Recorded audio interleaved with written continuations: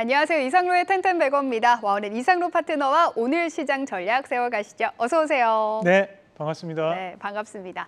오늘 2차 전지주가 빠지면서 코스닥에서는 낙폭을 좀 키워가고 있습니다. 네. 대신에 뭐 AI 로봇 관련주 강하고요. 초전도체 테마는 다시 또 부활을 했어요. 네. 뭐 전반적으로 주도주가 좀 빠지는 시장인데 오늘 시장은 어떻게 보세요? 어, 일단 이제 8월이 테마의 계절이기 때문에 초전도체는 쉽게 죽을 수 있는 테마는 아닙니다, 사실. 음. 그러니까 이제 8월 말까지도 계속적인 이슈는 저는 될 거라고 보고 충분히 추가적인 상승 가능성은 있다. 이게 현실 가능성과 이제. 주가에 대한 움직임이 다르다 또 봐야. 돼요. 네, 그게 무관하다고 저는 판단합니다. 그래서 지금 시장에서에 대한 수급적 집중도는 좀 더 이어질 거라 보는데 다만 이제 오늘 시장에 대한 포인트 이렇게 한번 잡아봤습니다. 2차 전지는 부재중이라는 음. 부분인데 사실 어, 우리가 이제 이 2차 전지 관련된 기업들을 또 투자도 많이 하시고 많이 또 하셨을 거예요. 네, 그런 부분들이 많으실 것 같은데 2차 전지의 가장 큰 문제는 공매도가 아닙니다, 사실. 어, 예, 우리가 이제? 공매도 같은 경우에 2019년도에 셀트리온 사태에서도 결국에는 이제 공매도가 무너지고 셀트리온 주주도 이겼거든요. 음. 그래 앞서서 이제 에코프로도 마찬가지였고 다만 이제 2차 전지의 가장 큰 문제는 뭐냐면 신용 물량입니다.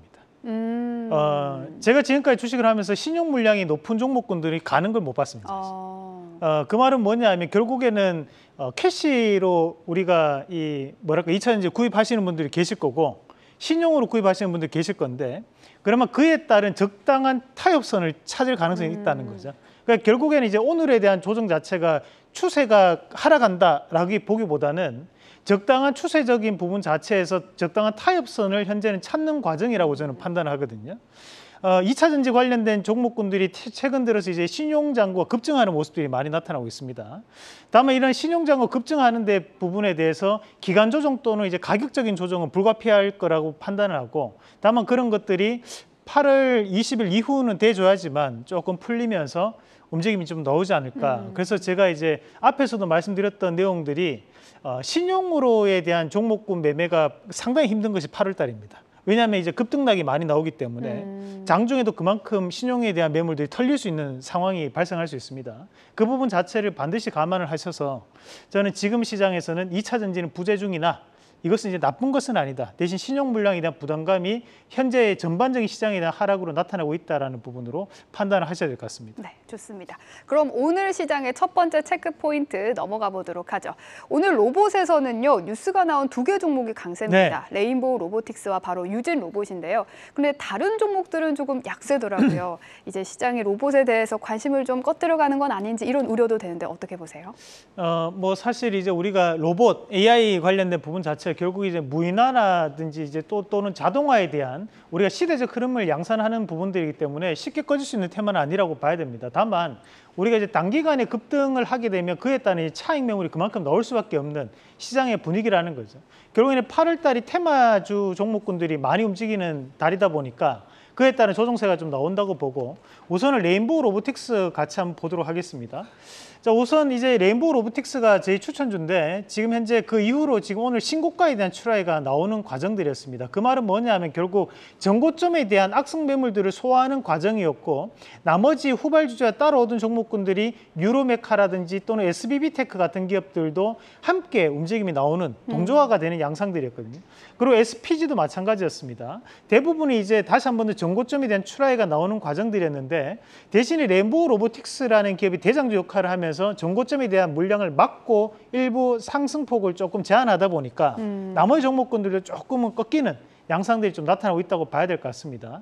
대신에 현재 이 램보 로보틱스에 대한 부분 자체가 결국 이제 삼성과에 대한 연계성이 좀 더 확장된다는 어, 그런 모멘텀이 붙어 있는 상황이기 때문에 어, 이 종목군이 저는 충분히 이제 15만 원대 다시 한번 돌파할 거라 보거든요. 그럼 나머지 종목군들, 나머지 로봇 관련된 기업들도 지금은 추가적인 상승 여력은 충분히 있다 라는 부분으로 해석을 하는 게 어떨까라는 말씀드리겠습니다. 네, 좋습니다.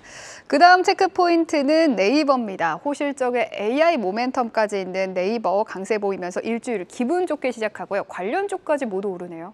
네, 맞습니다. 이 하이퍼클로바 X에 대한 기대감이 상당히 뜨겁다고 봐야 되는데 이 하이퍼클로버 X가 사실은 지금 현재 공개가 되는 것은 아니었고 계획은 이미 7월 달부터 공개를 할 것이라는 얘기를 꾸준하게 왔기 때문에 그만큼 기간에 대한 수급도 많이 붙어 있던 부분도 존재를 합니다. 그에 따른 부분 자체에서 현재는 이제 시세 분출 과정이 나타나고 있는 과정들이 나타나고 있고 마찬가지로 이제 네이버가 오르면서 함께 오르는 종목이 또 카카오가 또 오르고 있거든요. 음. 카카오도 지금 현재 보면 어, 다시 한번 AI에 대한 이슈를 좀 더 붙이는 모습들인데 어, 우리가 어차피 두 가지 다를 못 삽니다. 그렇게 따졌을 때는 네이버가 훨씬 더 우위에 있는 부분이 저는 존재한다고 보고 현재 이 네이버가 우위에 있다는 것은 종목군에 대한 움직임으로도 그대로 나타나게 되는데 네이버 관련된 기업들도 강한 움직임을 좀 나타내고 있습니다. 자 우선은 이제 우리가 오브젠이라는 기업도 네이버에 대한 지분 투자가 들어와 있는 기업입니다. 오브젠도 지금 현재 다시 한 번 더 상승세를 좀 붙이면서 좋은 모습을 나타내고 있고 마찬가지로 MBT 같은 경우에도 현재 바닥을 한 번 더 다지면서 반등을 좀 붙이는 이런 모습들이 어, 긍정적으로 나타나고 있다 말씀드리겠습니다. 네. 특히 네이버 웹툰 관련주 중에 Y랩이 네. 금요일에 상한가에 맞췄다가 오늘도 2차 VI가 걸릴 정도로 급등을 했거든요. 네이버 웹툰 상장 기대 때문이죠. 네 맞습니다. 이 Y랩 뭐 저희가 이제 추천드리고 난 다음에 전일 사실 방송 끝나고 난 다음에 이제 상한가까지 네. 달성을 했고 오늘 또 다시 급등 양상을 나타내는데 마찬가지로 현재 이 Y랩 같은 경우에는 지적재산권이라고 하는 이제 IP가 현재는 부각되는 양상들입니다. 그 부분 자체를 감안해서 보면 현재는 다시 한 번 더 공모가에 대한 부분 돌파에 대한 가능성이 충분히 있다고 보고 공모가는 물론 9천 원이지만 앞서 상장되면서 상당히 고가에 위치되어 있는 부분까지도 현재는 다시 한 번 더 바람을 타고 움직일 가능성이 좀 있다고 보고요. 마찬가지로 현재 네이버 같은 경우에 시세를 분출하면서 지금 수익을 극대화할 수 있는 양상이 드러나고 있기 때문에 우리가 이 네이버라든지 와이랩은 좀 더 여러분들이 보유하시면서 현재 시장은 테마의 움직임이 나타날 수밖에 없는 시장이기 때문에 좀 더 수익을 극대화시키는 전략으로 말씀드리겠습니다. 네, 아, 짧은 시간 안에 이렇게 수익이 많이 나니까 기분이 네. 좋네요. 그때 왜 웹툰이라고 생각했던 저의 짧은 시각을 사과드립니다. 어, 마지막으로요, 오늘 삼성이 스마트 공장을 구축한다는 소식에 관련주가 강세입니다. 상당히 무거운 종목인 삼성 SDS, 저의 원픽이기도 했는데 또 오늘 오르고 있네요. 어, 우리가 이제 이 삼성 SDS도 생성형 AI에 대한 이슈가 좀 붙어 있고 어. 우리가 앞서서 이제 포스코 퓨처엠보다 포스코 DX가 훨씬 더 많이 올랐던 것도 어, 이 삼성 SDS에 대한 상승과 연관돼서 생각을 해볼 필요가 있습니다. 결국에는 지금 현재 시장은 스마트 팩토리와 또는 공장 자동화에 대한 붐이 현재는 상당 부분 이루어지고 있는 양상들이기 때문에 삼성이 파운드리에 대한 어, 투자 확대가 이루어지고 있고 거기에 따른 스마트 공장 3.0에 대한 추진이 이루어진다는 얘기는 결국 삼성 SDS에 대한 일거리가 늘어날 수밖에 없는 그것이 실적으로 연결될 수밖에 없는 상황이라고 지금 시장은 판단하는 것 같습니다. 삼성 SDS 주가 추이를 잠시 한번 같이 보시면 현재 장기평이라고 하는 480선 다시 한 번 더 바닥에서 돌파를 해서 넘어가는 모습들이 나타나고 있는데 현재 이런 상황 자체가 발생을 한다는 것은 결국에는 이제 바닥권력을 넘어서면서 추세적 상승으로 돌려내는 그런 움직임이 나타나고 있고 앞서서 삼성 SDS가 큰 악재가 나타났던 것이 대주주들의 일부 매도 물량들이 좀 존재를 했습니다. 하지만 그 물량 자체를 모두 다 소화를 하면서 넘어가는 양상들이기 때문에 지금부터는 AI라든지 또는 우리가 앞서 이제 공장 자동화에 대한 이슈에 좀 더 집중해 볼 필요가 있다. 과거 어, 우리가 이제 디지털로서에 대한 변화를 얘기했을 때 가장 강하게 움직였던 종목이 두 가지인데 디지털 뉴딜 정책에 대해서 첫 번째가 이제 다우 데이터라는 기업이었고 두 번째 삼성 SDS거든요. 그럼 현재 다우 데이터는 지금은 우리가 들어갈 수 있는 자리는 아니죠. 그렇게 된다면 남아 있는 대장주 역할을 할 수 있는 게 삼성 SDS가 될 수 있다는 점 참고하시길 바라겠습니다. 네, 좋습니다. ASR 종목이 하나 더 있는데 현대 오토에버입니다. 차량용 소프트웨어와 관련된 기업인데요. 2분기 어닝 서프라이즈를 기록하면서 오늘도 52주 신고가를 기록을 했네요. 어, 뭐 지금 현대 오토에버도 오늘도 좋은 모습을 나타내고 있는데 뭐 당분간 이런 신고가에 대한 움직임이 좀 이어질 거라 보고 자율주행 레벨 3에 대한 기대감이 있다고 봅니다. 결국 이제 어, 똑같은 말을 되풀이하게 되는데 8월은 이제 테마의 계절입니다. 계속적인 이제 이런 테마와 재료와 또는 이제 뉴스에 의해서 등락이 나올 수밖에 없는 시장이기 때문에 지금은 이제 방송을 통해 좀 더 선점하시는 매매가 좀 필요한 시장이라고 말씀을 드리고 싶습니다. 네, 좋습니다. 앞으로 어닝 서프라이즈를 계속할 거라는 리포트도 나온 네. 현대 오토에버입니다. 자, 오늘은 그러면 어, 오늘의 체크 포인트로 넘어가 보도록 하죠. 오늘은 대기업과 시너지를 낼 AI 관련주 들고 오셨다고요? 어, 아직도 이제 AI라고 하면 우리가 이제 테마에 대한 부분으로 인지를 하시는 분들이 많으시기 때문에 AI라고 읽지 마시고 우리가 이제 무인화라고 읽으시면 좀더 시대적 흐름을 나타내는 만들어내는 과정이라 봅니다. 어, 그러면 이제 대기업과 시너지에 대한 무인화 관련주 이렇게 보시면 아, 무인화는 앞으로 시장 자체가 좀 더 확장될 수 있는 여지가 있는 부분이라고 보고 그런 부분에 좀 더 안정적으로 운영을 하기 위해서는 우리가 대기업에 대한 지분 투자가 들어왔던 기업이 있고 또는 이제 대기업과에 대한 협력 관계에 있는 기업들이 있습니다. 아직까지 늦지 않았다 보고요. 어, 그러면 이제 우선 코난 테크놀로지 같은 경우에는 SK텔레콤과 또 지분 관계가 엮여 있는 기업이기도 하고 바이브 컴퍼니는 또 카카오와 또 지분 관계 엮여 있습니다.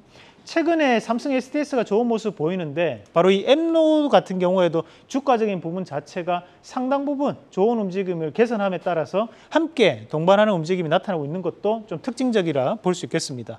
자 그리고 협업에 대한 기대감을 가질 수 있는 기업들이 우리가 이제 플리토라든지 이스트 소프트, 마음 AI 그리고 폴라리스 오피스가 있죠. 그 폴라리스 오피스는 현재 네이버와 또 관계적인 부분을 가지면서 재평가를 받는 과정들이기 때문에 당분간은 이제 8월 달은 이런 AI 관련된 이슈가 좀더 확장될 여지는 충분히 있다라고 판단하고 말씀을 드리겠습니다.